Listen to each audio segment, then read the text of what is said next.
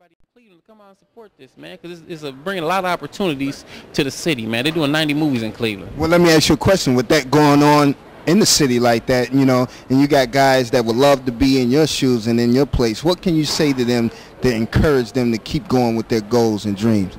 One thing I can say, and this is do not quit, man, because I tell you like this, out of these 65 movies and TV shows and commercials I did, man, this is 2012, 2002, the beginning of 2002. 10 years ago this time, I was just, I had just stopped being homeless. 10 years ago. Wow. And I was still working, uh, I was a working actor then, but not so much as now. But 10 years ago, I had just stopped being homeless, April 2002. So if you want to do it, man, just believe it, do not quit, and it will happen. It, it, it's in the Bible. There you have it, Mr. Steve Turner.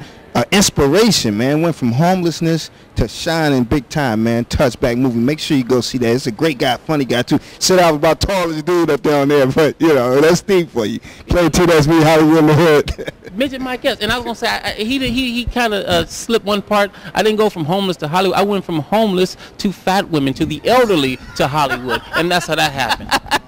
and letting everybody know about the movie. Tell us about that.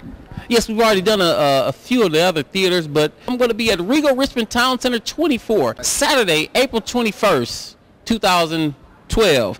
Come on down, man. Bring your mother, your sister, your mother-in-law. If you don't, just bring her anyway, man. Uh, 2:45 to 6:45. We'll be here signing autographs. We'll do a meet and greet. And uh, if you have any questions, ask me.